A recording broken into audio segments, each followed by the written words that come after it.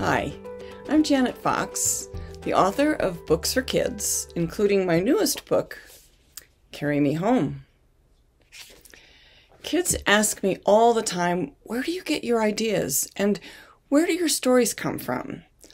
I'd like to tell you a little bit about ideas and about how to write stories that come from your imagination, but can also come from things that are all around us.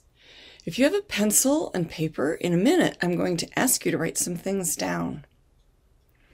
The idea for Carry Me Home came from listening to an interview with a family that was living in their car. And I imagined a girl, I named her Lulu, who might be living in her family's car with her sister Serena. Then I imagined what Lulu might wish for, like a home. There are lots of ways we talk about wishes, right? We wish on stars, on horseshoes, on four leaf clovers, or on birthday candles. I read a story about a girl in Japan who made a wish by trying to make 1,000 origami cranes. That story is called Sadako and the Thousand Paper Cranes by Eleanor Coerr. Now, when I was a girl, I loved origami. Origami is the ancient Japanese art of paper folding. My parents went on a trip to Hawaii and came home with an origami kit, and I used up all the paper in that kit making hundreds of different kinds of animals.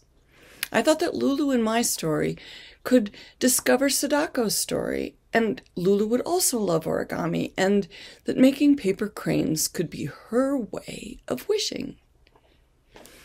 Here's a passage in Carry Me Home where Lulu discovers the art of origami.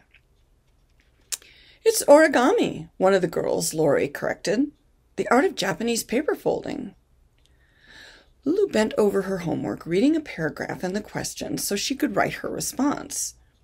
Huh, that was weird. She read the paragraph again, a summary of a book they were about to read.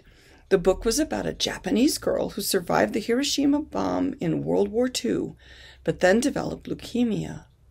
There was an old Japanese belief that anyone who made a thousand paper cranes by folding them in the origami way could make a wish, and that wish would come true.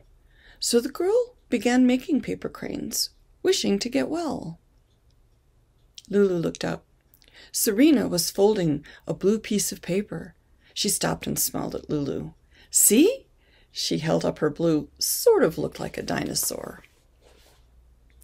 Let's go back to the ways we wish. And I want you to think about what you could write about wishes. Do you have a pencil and paper handy? First, think of something you want very much, something you could wish for. Maybe it's a puppy. Maybe it's a friend. Maybe it's acing your next test or a way to better play basketball or that you'll soon see your grandma again. It could be anything. Write down your wish. Now think of the ways we make wishes and choose one. Here are some ideas once more stars, four leaf clovers, birthday candles, pennies dropped in a well, horseshoes, turning three times in a circle, making 1,000 origami cranes. Write down the way you like best. Now think of a character, a girl or boy, and give them a name. Then give them your wish. Finally, think about the way they might make that wish. Now you have all the ingredients for making a story of your own about a girl or a boy with a wish. In Carry Me Home, Lulu wishes for a home, and she makes paper cranes to help her make that wish come true. Here's another little passage about her wish. In the darkness, when she heard Serena's soft breathing, she pulled at her backpack and felt around and found the green paper crane. She held it up in two fingers against the dim light coming from outside the car. A wish, a thousand cranes.